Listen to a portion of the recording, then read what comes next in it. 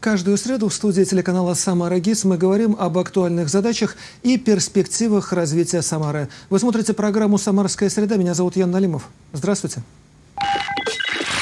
В Самарской области завершилась избирательная кампания в Государственную Думу и региональный парламент. Кто участвовал в процедуре контроля за ходом выборов? Как был построен общественный контроль за процессом голосования на территории губернии? В нашей студии Виктор Полянский, профессор, заведующий кафедрой государственного и административного права Самарского университета, сопредседатель общественного штаба по независимому наблюдению за голосованием в Самарской губернии. Виктор Владимирович, добрый вечер. Я искренне рад вас видеть. Здравствуйте. Итак, слава богу, эта избирательная кампания длинная, сложная, непростая. Завершена, подводятся итоги, ну и тогда, наверное, уже можно будет сказать, что она закончилась. Вот если говорить об ее объективности, если говорить об ее, э, скажем так, легитимности, кто участвовал в процедуре контроля за ходом выборов вот на этой кампании? Вообще у нас э, довольно такая разветвленная, системная, э, в общем-то, работа проводилась по разным направлениям. Во-первых, и они ранее были учреждены, многие институты, чем другие. В частности, это наблюдатели от партий и от кандидатов. Этот институт имеет очень давнюю историю, они обладают э, соответствующим опытом, партии всегда мобилизуют своих, ну, образно говоря, волонтеров, э, сторонников, которые помогают им осуществлять контроль за ходом голосования на участках и за пределами участка тогда, когда, например, проводится надомное голосование.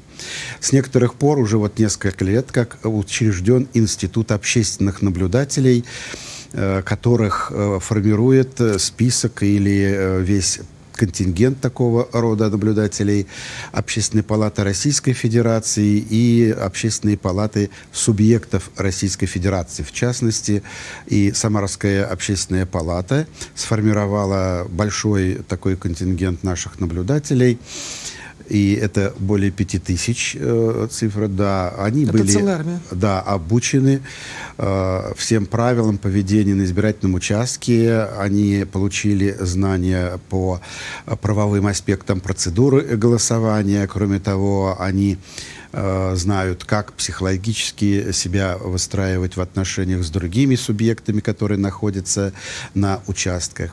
Э, пока еще не сказала всех других, помимо вот этой э, категории наблюдателей, они сейчас, по сути, являются уже почти традиционными, потому что общественные наблюдатели неоднократно участвовали в избирательных кампаниях и в общероссийском голосовании по закону о поправке в Конституцию в прошлом году. Но есть, например, и ваши коллеги, и вы э, сами, все журналисты, да. которые обладают специальным статусом представителей СМИ. Этот статус, кстати, пошире, чем наблюдатели, потому что журналисты имеют возможность передвигаться между э, избирательными участками, присутствовать в других местах, где решаются вопросы, связанные с организацией голосования, подведением итогов и так далее. И вот это а, значит, э, системная такая работа проводится в рамках действующего законодательства. Э, здесь нет абсолютно полной свободы. Ну, как говорится, все, что хочу, то и делаю. Есть определенные требования к самим э, наблюдателям, вот к нашим э, общественным наблюдателям. Э, есть требования, касающиеся возраста. Это должны быть граждане Российской Федерации. Они не должны замещать там государственные должности, ну и так далее.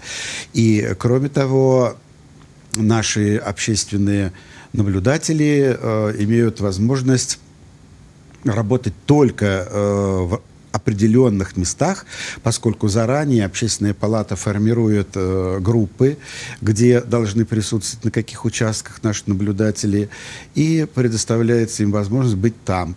Э, в течение всего времени голосования Э, можно присутствовать только один э, представитель общественной палаты, то есть общественный угу. наблюдатель, но они там могут меняться посменно, как мы э, говорим.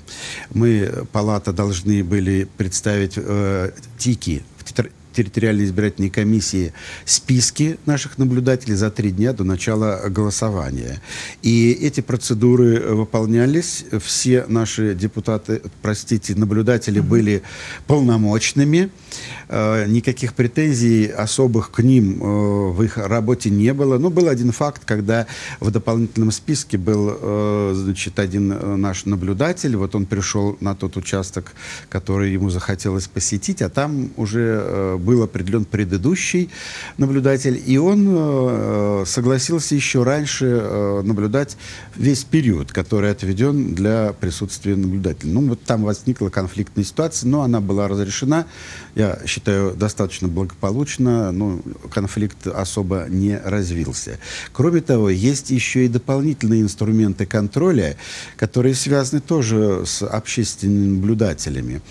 Э, в этом году, как бывало и раньше, установлена система видеонаблюдения на большинстве избирательных участков. У нас в Самарской области примерно две трети э, были э, покрыты вот такой сетью видеонаблюдения, участков именно. Плюс там, где не было обычного видеонаблюдения, были э, видеорегистраторы. Э, запись велась на флешку. Э, этот институт тоже вызывал некие вопросы у тех, кто заинтересован э, в результатах, возможно, голосования и подведения итогов и так далее. И говорили, вот недостаточно э, механизмов, которые бы позволили каждому, э, любому избирателю подключиться к системе видеонаблюдения и дома, лежа или сидя, неважно, как, мол, смотреть, как идет э, голосование.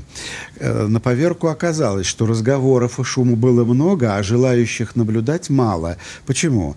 Э, мы... Э, ну, конечно, это 24 часа в сутки надо э, смотреть. Да, потому как и в ночное время камеры были настроены на режим видения ну, конечно, ночного, и там было бы видно. Но, оказывается, я так определяю для себя просто, что это был политтехнологический прием протестов против несуществующих угроз. Что вот ограничили, мол, право избирателей все время видео смотреть, наблюдать по видеокамерам этим. На самом деле, э, когда э, были предоставлены такие вот возможности гражданам, они записались, ну, где-то около 50 человек.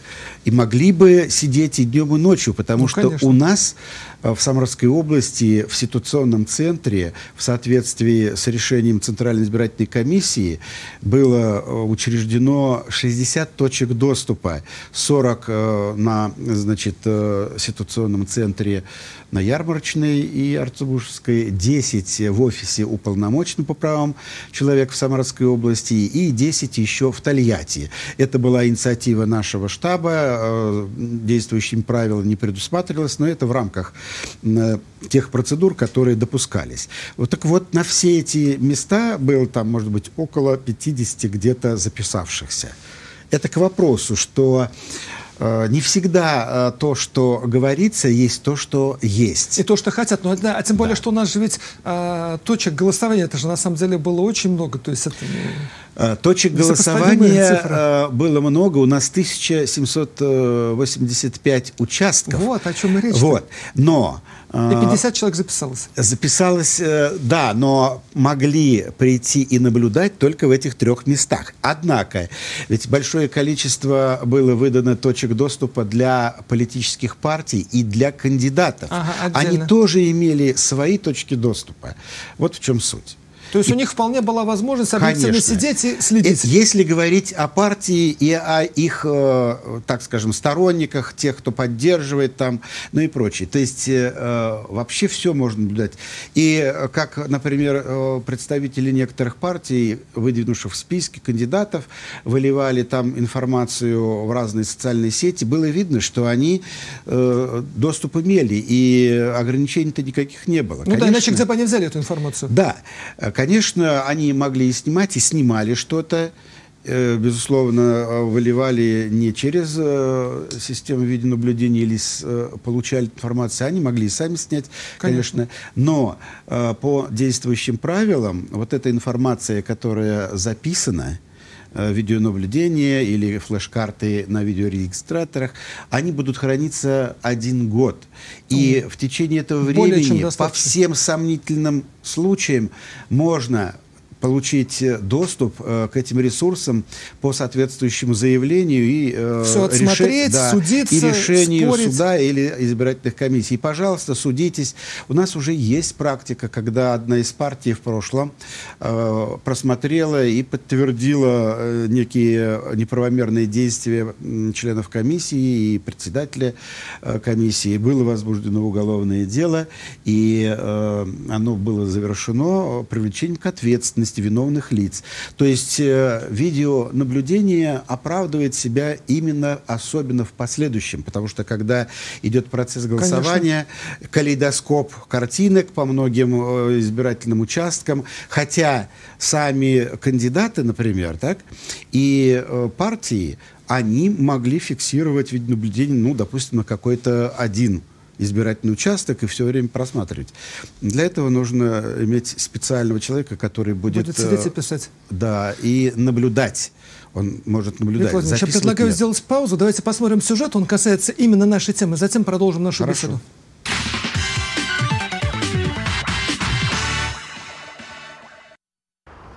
В регионе работают 1785 постоянных избирательных участков и 17 временных. За процессом следят свыше 5000 общественных наблюдателей, 60% из которых представители молодежного сообщества. На каждом участке по несколько человек. Мне важна судьба нашей страны. Я поэтому решил стать наблюдателем, чтобы выборы прошли честно, потому что Государственная Дума является нижней палатой парламента, одним из главных органов нашей власти. Мы надеемся, что все пройдет спокойно и без нарушений все-таки. Затем, чтобы не было нарушений, активно следят и представители старшего поколения. Лидия Тимофеева давно занимается общественной деятельностью и не первый год приходит на выборы в качестве наблюдателя. Нравится, ну что, ну что дома сидеть? Я пенсионерка, дома сидеть это, как говорится, очень плохо. Наблюдаю, чтобы не было сброса бюллетеней, ну, чтобы не уговаривали, за кого голосовать однозначно. Прям... Ни разу такого не было, чтобы уговаривали? Никогда не было, абсолютно. Каждому избирателю на участке дают четыре бюллетеня для голосования за кандидатов в Государственную Думу и областной парламент. При опускании в урну может показаться, что кипа бумаг не что иное, как вброс. Поэтому приходится внимательно смотреть, чтобы убедиться, что это сложенные бюллетени, а не дополнительная пачка. Приходится следить и за тем, какие бумаги выдают. Для того, кто взял открепительный, есть нюансы. А, мы находимся в Волжском округе по губернской думе. Вот, и если у него прописка вне, то он не может голосовать за одномандатника. Вот, следовательно, важно не допустить ошибку, не выдать лишний бюллетень. Много голосуют по заявлениям э, прикрепленным, которые значит, по госуслугам крепились через ТИК, через участковую избирательную комиссию. А наблюдателей много, кандидаты пришли, контролируют э, процесс. Ну, в общем, вот такое все в обычном режиме, поэтому как должно быть. После восьми вечера на участках все бюллетени перекладываются в сейф-пакет, в том числе из переносных урн для тех, кто голосовал на дому. Составляется акт, все сейф-пакеты убирают в специальный ящик и опечатывают. Напомним, что общественный штаб независимого наблюдения за выборами был создан в Самарском регионе в марте. В рамках подготовки к выборам состоялось более 70 семинаров, на которых прошли обучение свыше 5000 человек. Наблюдатели – доверенные лица штаба. Они заинтересованы не в том, чтобы победил конкретный кандидат, а в том, чтобы выборы прошли прошли честно и в соответствии с законом.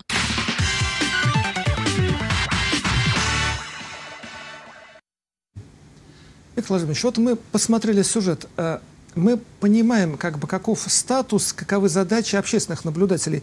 А как это соотносится со статусом других наблюдателей? Вы о них говорили. Это наблюдатели от партии и наблюдатели от кандидатов, которые, ну, в общем-то, профессионалы, будем говорить так. Да, э, они действительно многие профессионалы, потому что работают с партиями плотно и не один год, не один десяток лет многие. И не один цикл избирательный. И не один цикл, поэтому они достаточно хорошо, так скажем, осведомлены о порядке голосования, о всех процедурах.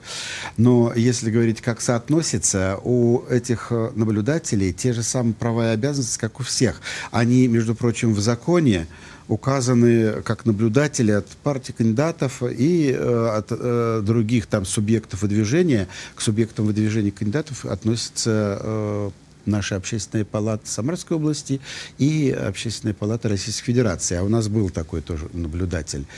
Э, но все действовать должны на основании закона и добросовестно. А вот э, все-таки интересы, они э, продуцируют иногда какое-то и иное поведение. Наши наблюдатели, общественные палаты, они не отражают интересы каких-то корпораций, групп людей, отдельных индивидов, кандидатов и так далее. Они должны работать на общий наш областной, например, или федеральный интерес, публичный интерес, чтобы обеспечить законность процедур и обеспечить добросовестность всех э, действий, которые совершают участники э, процесса процесса голосования избирательной комиссии, э, сами наблюдатели, в том числе и те, которые от партии кандидатов, это касается нас. А вот партийные кандидатов, наблюдатели, у них все-таки цель э, содействовать получению важного для партии и кандидата результата. Но это тоже нужно делать законными методами. Иногда грани не соблюдаются эти. Такие факты у нас в рамках прошедшей кампании по голосованию, в частности, частью от которой кампании называется голосование, там все-таки поведение отдельных наблюдателей имело, э, так скажем, под собой э, видимую заинтересованность. Так поступать не должны никакие наблюдатели, в том числе и партийные. Но их статус иногда произвольно, невольно, но бывает, вот ведет по такому пути. Если продолжать эту тему интересы партии, интересы отдельных кандидатов, как вы оцениваете средства и методы продвижения своих интересов а, партиями и кандидатами вот в эту избирательную кампанию? Если имеете в виду партийно-кандидатский интерес по продвижению себя в Государственную Думу, например, в Самарскую губернскую Думу, да. то он, а, так скажем, является вполне легальным. Угу. Сам интерес законом это предусмотрено, ну, конечно, идет борьба э, жесткая, может быть, там жестокая или еще что-то, но она должна э, соответствовать требованиям законодательства, и главное, она должна соответствовать э, морали, этике и добросовестности. Вот здесь вот проблемы возникали. Есть вылито уже все в интернет, там, в социальных сетях, и видно, э, до чего же все-таки грубо, бестактно, э, с напором, который, ну, недопустим. Например, э, который вот там был мужчина против женщины, как э, сотрудника избирательной комиссии. Я лично был просто удивлен, раздосадован и возмущен, и даже подумалось, и что же, такие э, депутаты будут править нами, Россией, если он так ведет себя по отношению к человеку, который выполняет свой долг, и если вы видите, что допущено нарушение, есть определенные правила поведения всех участников в рамках э, процесса голосования. Есть так э, говоримое э, правовое поле, в рамках этого правового поля и нужно действовать. Не кричать, не, извините, там буйствовать, да. Есть э, правила, напишите заявление, оно будет рассмотрено, не удовлетворились, идите дальше с этим заявлением и с э, решением, идите в суд, есть соответствующие правила. Нет, а это были действия устрашающие такие, вынуждающие человека содрогнуться. Так нельзя. И вот такие примеры, они не украшают не только э, тех участников такого рода конфликтов, но и э, партий, которые, которые они представляют. представляют. Да, я лично э, считаю, что такое недопустимо. Виктор Владимирович, а много было жалоб, э, письменных жалоб? Какие были выявлены? Вот жалобы и нарушения какие были выявлены? Знаете, э, жалобы мы в рамках штаба общественного наблюдения рассматривали довольно э, оперативно. Их было э, достаточно, чтобы все члены штаба привлекались. Но прежде всего привлекались эксперты-юристы, поскольку требовалось соотнести те или иные обстоятельства, возможно, действия какие-то э, с законодательством, потому что некоторые некоторые действия, они вполне укладываются в законы, но кому-то они э, кажутся нарушением. Ну, я приведу вот Ну да, вот примеры, да, с чем случай. обращались? Вот, э, значит, э, обращаются, мало того, что обращается, но ведь еще сначала напишут, выбросят, выплеснут э, в информационную сферу, и э, выглядит все так, ну, знаете ли, аж преступления какие-то. На самом деле это не так. Вот, например, пишут по нашей области на одном из информресурсов, э, ну, допустим, избиратель. А вот на участке больше одного стационарного ящика для голосования. Тут можно сказать, э, что вообще по законодательству количество ящиков определено. Есть специальная инструкция ЦИК, э, в которой определено все, что должно быть на участке, то есть в помещении для голосования, расположение всех необходимых э, ресурсов информационных, столов для выдачи Ну, то есть бюллетеней. все четко прописано. Все прописано. А количество ящиков определяется количеством избирателей. Вот этот вот автор, я его считаю абсолютно недобросовестным. Сказать, что он, э, к примеру, по неосведомленности просто это делает, не думаю, что он воспользовался тем ресурсом, который он знает, а он только лишь, как правило, доступен тем, кто постоянно интересуется выборами. И э, если он там написал, значит, он предполагает. Но поскольку большинство наших граждан не, Ну, не профессионалы, профессионалы, не понимают, в чем там суть, будут считать, Ну да, что что просто да, придет много вот людей, нарушение, должно быть два ящика, Вот конечно. нарушение больше одного ящика. А на самом деле, может быть, от, от такого-то количества избирателей по участку, Конечно. там, допустим, тысяча, если там, к примеру, да, один ящик больше, значит, два ящика Ну, больше. понятно, чтобы очередей не было просто, Конечно, все это Все банально. э, знают люди, скорее Всё всего. логично. Но была какая-то заданность такая некая нагнетать э, ситуацию. Она недобросовестно формировалась, эта ситуация, с э, большим количеством обращений. Вот, например, в областную избирательную комиссию поступило в дни голосования там 120 примерно обращений. Из них там 100 уже были отработаны на последний день голосования. Из них э, около э, 80 примерно там обращений не имели под собой э, юридической, да и фактической даже основы. Но они пишутся, а некоторые акторы э, избирателями представляются, там, может быть, э, члены участковых комиссий и так далее. Но бывает, пишут даже обращения, э, исковые э, административные заявления э, в суды. Ну, как некие там призывают, завалим суды, вот и пусть разбираются. Да, там неважно, что будет. Так поступать не, ну, нельзя, я так думаю, но поскольку, поскольку я не заинтересованное лицо, я хотел бы, чтобы все соответствовало э, закону и добросовестности нашей, э, так скажем, морали и этики. Но вот, к сожалению, такие факты были. Были и э, сообщения о тех деяниях, так скажу, действиях и бездействиях, которые требовали оценки. И у нас в штабе мы анализировали, в областной избирательной комиссии признали, что 21 э, факт, э, так скажем, имели место быть. По ним по всем э, были приняты решения. Часть э, членов комиссии, которые допускали отступление от правил, они были привлечены к ответственности. Кто-то отстранялся даже от работы с бюллетенями и тому подобное. И э, это только лишь говорит о том, что те, кто думал о качестве процесса избирательного, и они видели действительно какие-то нарушения, их интерес э, в плане восстановления законности и справедливости и добросовестности в делах, он был удовлетворен избирательными комиссиями. Участковые избирательные комиссии сами принимали соответствующие решения и восстанавливали порядок.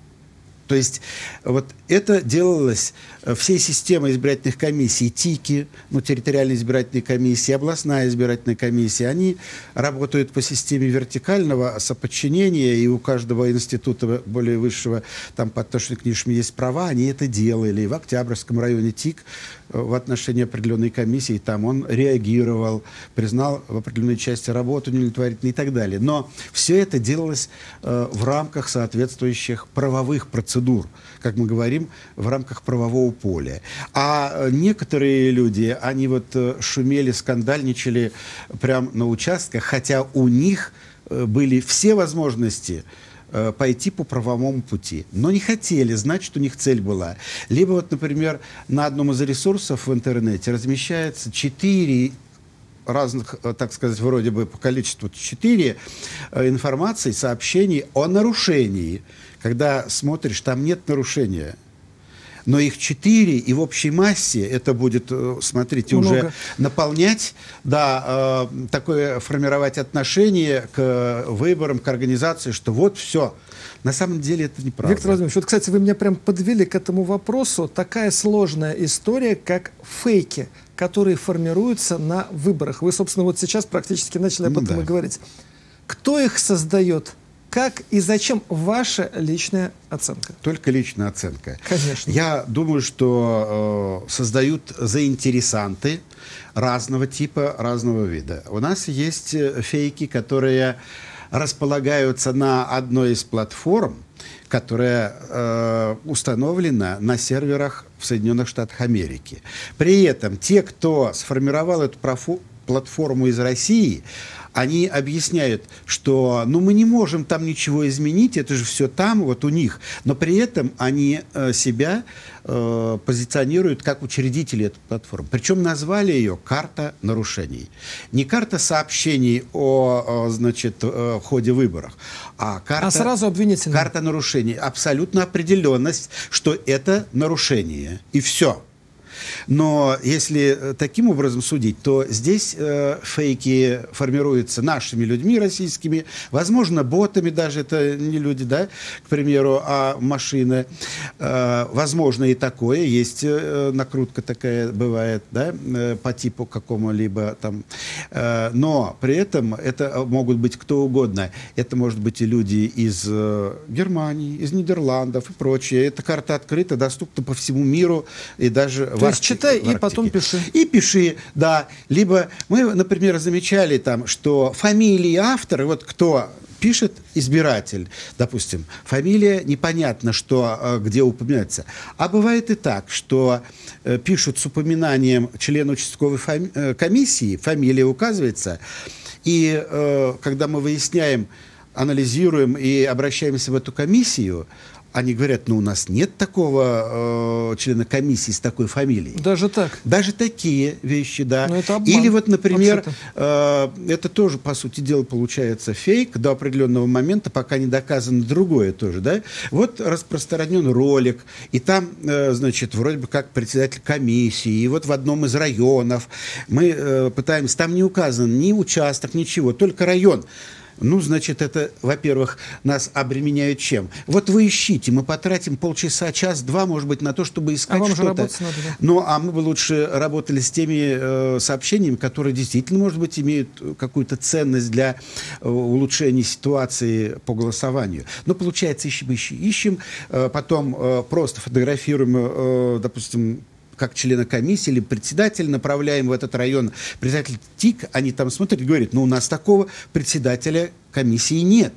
И как реагируют в этой ситуации общественники, кстати? Вот, когда вот мы, мы просто только и можем отреагировать, поскольку к нам шли запросы из Москвы, из Общественной палаты России, из Ассоциации независимый общественный мониторинг, они занимались тоже выборами. Мы им отвечали, что нет такого э, председателя комиссии, хотя скандала видно. Что этого нет в природе, короче. Да, но, но там есть, э, значит, э, вот фактура, так скажем, фактические обстоятельства, которые говорят о том, что вроде бы должен но в каком каком районе и прочее, мы сразу не можем определить. Но вот таким образом отвечаем. Но бывает и так, что э, вроде бы тоже факт имеется, что да, э, есть такой член какой-то комиссии, потому что комиссия указана, и указано, что это член комиссии. Мы едем даже с спрашиваем председателя комиссии, нет, вот фамилии там есть, но у нас нет такой. Вот имя совпадает с одним членом комиссии, но э, фамилия другая. И получается, что сам автор который писал якобы это сообщение, он свою фамилию не написал правильно. Вот тоже ищите и прочее. И мы э, не знаем, тот ли или не тот. Виктор Владимирович, прошу прощения, остается одна минута. Мне подсказывают, время очень быстро пролетело. Вот Последний вопрос. Когда подведут все итоги выборов? Все, я подчеркиваю, какова перспектива? Потому что понятно, что этот процесс непростой. Не А перспектива такая, что вот если имеете Коротко в виду прям. в целом по России или там по Самарской области, мы, наверное, примерно такие же, э, так срез, если взять, общие совпадаем где-то в чем-то. Э, большинство э, решений, которые будут э, уже приняты избирательными комиссиями участковыми, ТИКами и в последующем областными избирательными, ну, субъектовыми комиссиями и ЦИКом, они абсолютно чисты и добросовестны, законно будут. И мандаты будут выданы всем тем, кто их получил по этим решениям. По отдельным фактам, которые будут кого-то волновать, могут быть рассмотрены еще и в судах дела. Виктор Владимирович, прошу прощения, спасибо за беседу, но, к сожалению, время программы подошло к концу. Напоминаю, в нашей студии был Виктор Полянский, руководитель, сопредседатель общественного штаба по независимому наблюдению за голосованием в Самарской области. Удачи в делах, до свидания, и мы увидимся с вами вновь.